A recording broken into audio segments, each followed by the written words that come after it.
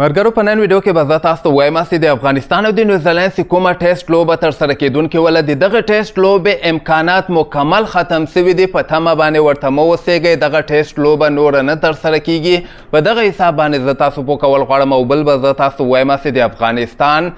اتلس کسیزه لوبډله معلومه سوې ده کوم به چې ساوت افریقا سره چې کومې درې پنځوس ورځې لوبې تاریخي لوبې په شارجا میدان کې ترسره کېدونکې دي دغه ته لوبغاړي هم درته ښیم او بل به زه تاسو وایم چې ګوربز هم هندوستان پرېښودلی ده او دوبۍ کې پریکټیس شروع کړی ده چې یو ډېر زبردسته کار یې کړی ده او د ابراهیم په ځای باندې باید کوم لوبغاړی د افغانستان سکواډ کې شامل سي دا خبر هم در سره په نن ویډیو کې شریکول غواړم مسخد مهم معلومات در کوم ویډیو تر اخره پورې وګورئ په هر څه به تاسو پوه او که تاسو دغه ویډیو خوښیږي نو اتمانه در سره لایک کړئ او نور ملګرو سره شریکولای سئ السلام علیکم ګرانو دوستانو امیدم چې ټول روغ جوړ یاستئ ملګرو اولنی خبر به زه تاسو ته د افغانستان او د نیوزیلند چې کومه ټیسټ لوبه ترسره کېدونکې وله بدبختانه نن درېیمه ورځ وله او نن هم د لوبه بیخي ونه سوله نن خو خیر سهار ټایم کې باران هم ورېدلی او که نه میدان مکمل لوند او داسې ځای ده که نه چې لږ باران وورېږي که نه مطلب بیا میدان نه وچېږي خو اوس ما هوا حالت کتل ځکه یو نیم ملګری اوس هم په پوښتنه کې چې سبا ټیسټ کیږي کنه کیږي دلته د حیرانېدلو خبره خدا ده کنه چې سبا که تاسو وګورئ د هوا حالت سبا یې څلورمه ورځ ده او لس بجو کې تقریبا نهه بجې به راواخلو دا نهه بجو کې دا لوبه شروع کیږي نهه بجو کې نوي فیصد د باران امکان ده لس بجو کې نوي فیصد د باران امکان ده یولس بجو کې پنځه نوي فیصد د باران امکان ده دولس بجو کې پنځه نوي فیصد د باران امکان ده یوه بجه کې پنځه نوي دو بجو کې نوي فیصده درې بجو کې پنځه نوي څلور بجو کې سل پرسنټه نو ما تاسو ته دغه څو ورځو راهیسې درته وایم هسې اتیا اویا اویاو نه پورته اتیا نوي فیصده سي که نه بیا باران اتمن کیږي نو سبا هم باران ده او بله ورځ ما هوا حالت خو خیر دومره صحیح اندازه نه لګیږي او بله ورځ هم ښه صحیح باران ده نو مسخد مې د خبرې دا ده چې دغه ټیسټ لوبې ته نور په تمه باندې مه اوسېږئ دا ټیسټ لوبه نه ترسره کیږي مخکې سي پنځوس شپېته فیصده تېره ورځ وه بله ورځ وه هلته ونه سوله نو نوي فیصده کې به چېرته لوبه کېږي نو دغه ټیسټ لوبه مطلب بیا هم نیوزیلنډ کور ودانې راغلل که نه افغانستان ته یې په درنده سترګه وکتل اسټرالیا غوندې فیصله یې ونه کړه نو دوی نه باید کرکټ بورډ مننه وکړي او د دوی سي هر څومره تعریفونه موږ وکړو د نیوزیلنډ کم د ښه خلک دي داسې دې نه اندازه ولګوئ ګوره افغانستان ته راغلل هندوستان ته ټیسټ لوبې تر اوسه پورې ناست دي که سبا هم په اخرنۍ پنځمه ورځ باندې که چېرته یو ورځ هم ټیسټ کېږي که نه نیوزیلنډ به راوځي میدان ته او ټیسټ به در سره کړي خو قسمت ورته وایي هر شی ورته وایي بس دغه لوبه ونه سوله بل خبر در سره چې کوم شریکوم اول خو به زه تاسو ته وایم چې بعضې د افغانستان لوبغاړي لکه فضل حق فاروقي فضل حق فاروقي دوه پرون بله ورځ فکر کوم تلی رشید خان خو اول نه دوبۍ کې ده موجب هم فکر کوم تلی ده او دین علاوه بعضې نور لوبغاړي دي او نن بیا ګوربزم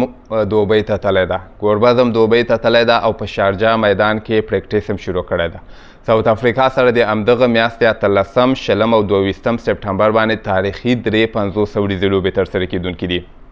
د دغه لوبو لپاره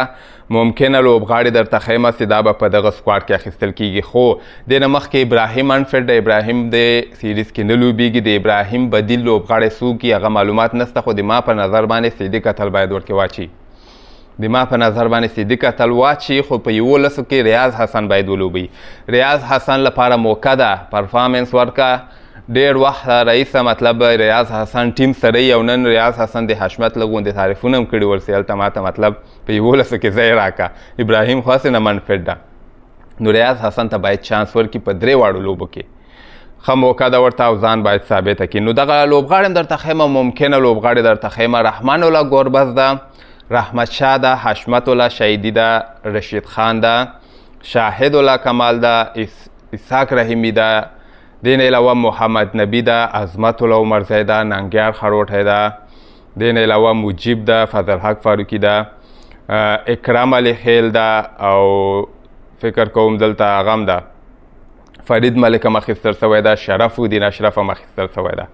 او دلته اوس بعضې ګوره دا درویش رسول هم په داخل کې ډېر ښه چلېدلی ده او دې نه علاوه نوید هم په دې سکواډ کې خو نوید هم فټ سوی ده ابراهیم په دې سکواډ کې و ابراهیم امان فټ سوی دا نو د دې په ځای باندې اوس بدیل لوبغاړو کې دوی څوک راولي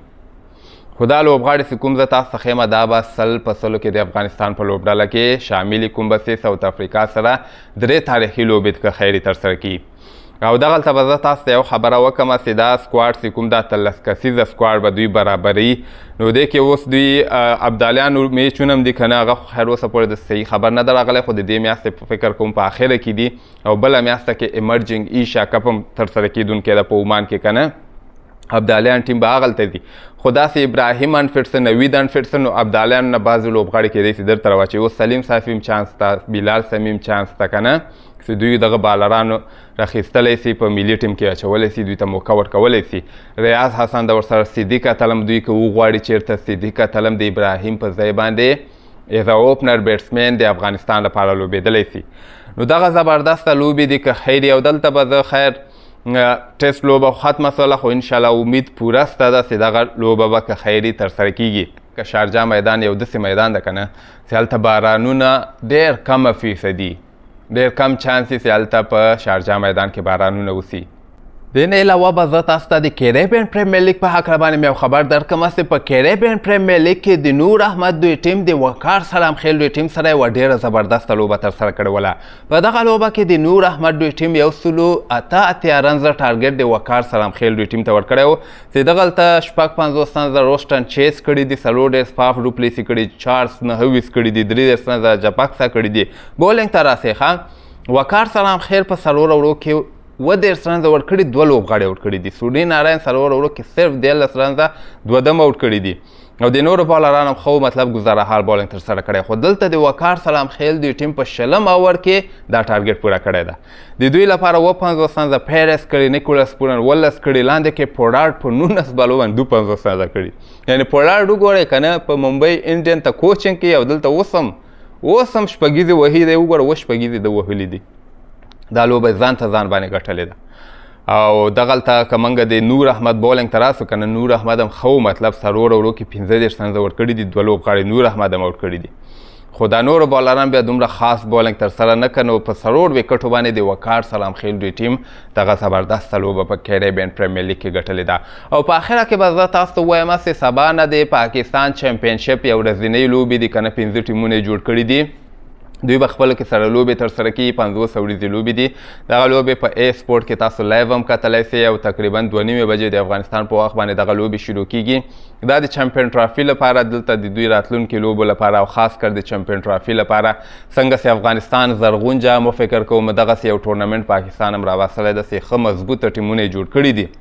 ټیمونو تعداد یې پنځه ده خو ټیمونو کې لوبغاړي که وګورئ که نه بهترینه لوبغاړي اخیستل سوي دي د چمپیون ټرافي لپاره پاکستان اوس نه مطلب پریکټیس شروع که نو که ویډیو هم خوښه سوي حتما یې در سره لایک کړئ نور ملګرو سره هم شریکولی سئ نور ښه وخت ولرئ الله پامان